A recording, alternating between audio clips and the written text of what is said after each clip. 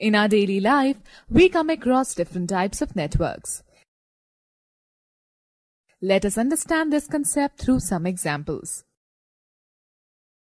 Network of roads, railway lines, canals, etc.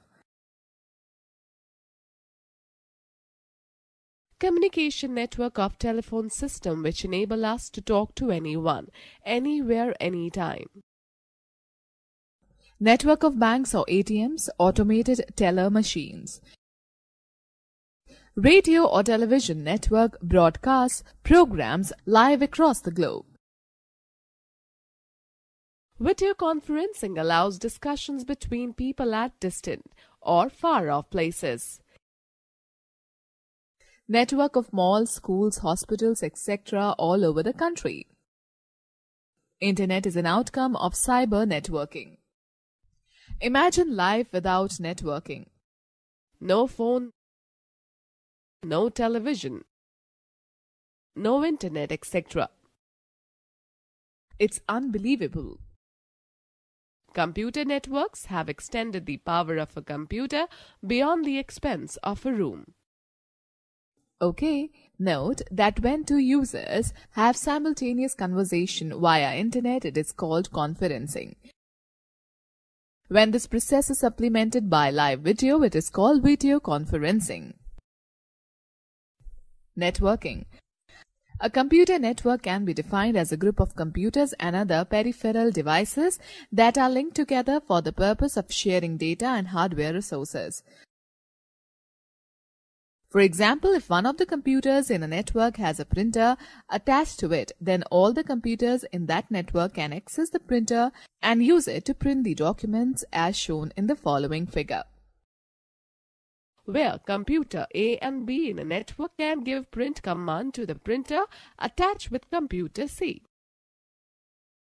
The computers in a network can communicate with each other as well as work independently. Each computer in a network is called a node. The computers in a network may be linked through cables, telephone lines, radio waves, or infrared light beams. Let me share an interesting fact about wireless. This is a means of communication that uses low-powered radio waves to transmit data between devices.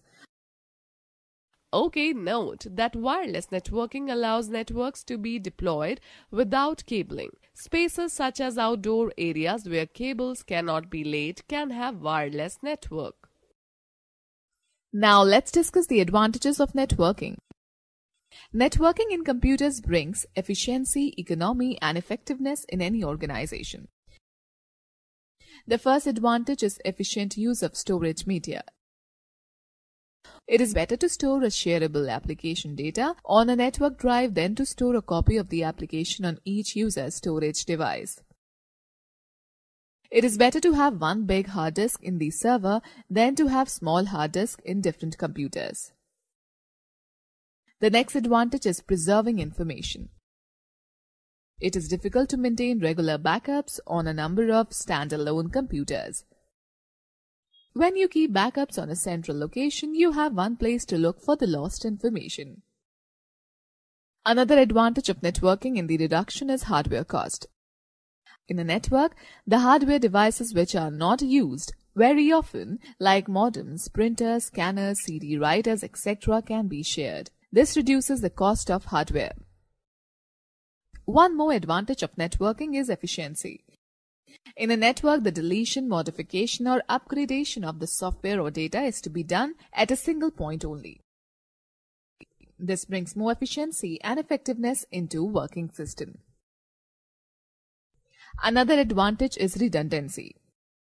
A network reduces the need for hard copies of all documents.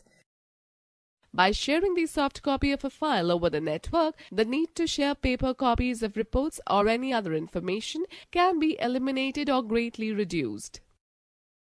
Networking delivers document the quickest way. Networking provides a facility to instantly deliver soft copies from one computer to other computers throughout the world. Students, what is this?